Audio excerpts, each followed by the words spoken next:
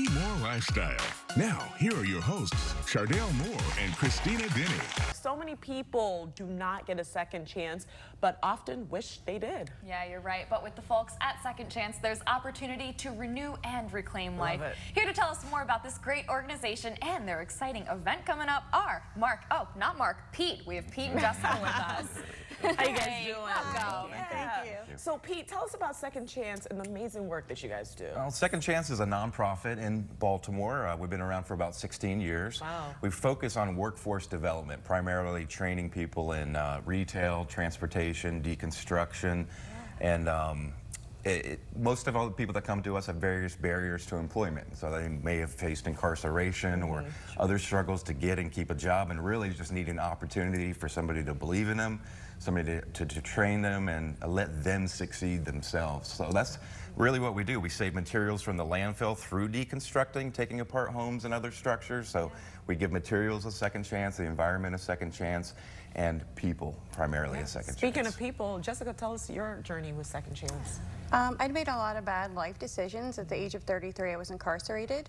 I was locked up for two years, and when I got home, I had applied at several places and was rejected several times. Yeah. Um, Second Chance gave me the opportunity to work. I've been promoted a few times. I'm an assistant manager now. Go and girl. Thanks. I financed a vehicle. I have my own home, and I started college, so it opened a lot of doors Wow. for me. Just incredible. So many Thanks. So opportunities. inspiring. Yeah. Yeah.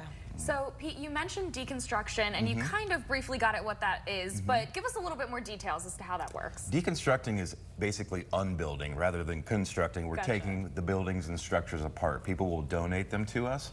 They receive a, a sizable tax benefit from doing that because we treat it like a living classroom. So we're ah. taking guys out there, and we're teaching them how to salvage every part of the home that we can. Anything that can be recycled, saved. Uh, we, we take that back to our 200,000 square foot retail facility across from Horseshoe Casino. Just a small little just place. a small little place, and we bundle that up with other goods that are donated to us from the public and, and sell that there. That's amazing. You got a cool event coming up, right? We do. Wreckers Ball. Yeah, What is you'll, you'll, you'll hear from people like Jess at the Wreckers Ball. We're a social enterprise, so we try to fund ourselves the best we can, but uh, we're, we want to grow. We want to help more and more people. So we're doing some fundraising, and this is our signature event. It's a con- very fun, very casual, construction cool. chic theme. Oh my gosh, I love kind of these event. wardrobe Yes. yes, and there's no clear definition of what construction chic means, so you can just have fun. I wore an orange cone on my head last year. Oh, it's- I love it it. was great. Silent auction, all you can eat from Mission Barbecue, great bar, live band, That's so dancing, cool. raffles. It's it's going to be a blast. That's Go online, secondchanceinc.org, get tickets. Love to see you Saturday. And we oh, can that's also make a donation too, right? Absolutely. Okay. Yep. If you went to our website, you could do that as well. We'd be very appreciative. And are you accepting just monetary donations, or do you also accept donations in the form of like furniture and things like that? How does that work? So Mondays or seven days a week, you can bring donations down from 8 4 or 9 to 5. And we take everything couches, chairs, doors. Our stock is amazing. We get some of the most antique things that you would.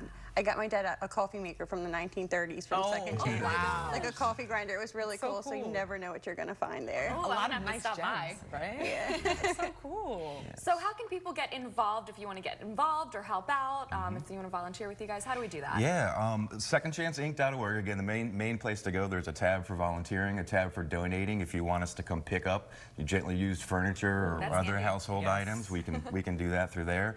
Um, you can donate financially through the website. Find all our social media channels. Guys, follow us, please. Yes, we, we love to interact. We love to see our products in people's homes and how other people have reused things and repurposed them because we're we're all about being creative and giving back. You guys are awesome. Absolutely. And you know what? We're human, so we all go through things. So thank Absolutely. you, you know, for allowing people to have a second chance. So Absolutely. important. Yes, we What a need great it. organization. Yes. And that ball, oh my gosh. That looks. Oh my gosh. We I want to go. I already have my outfit planned out in my head.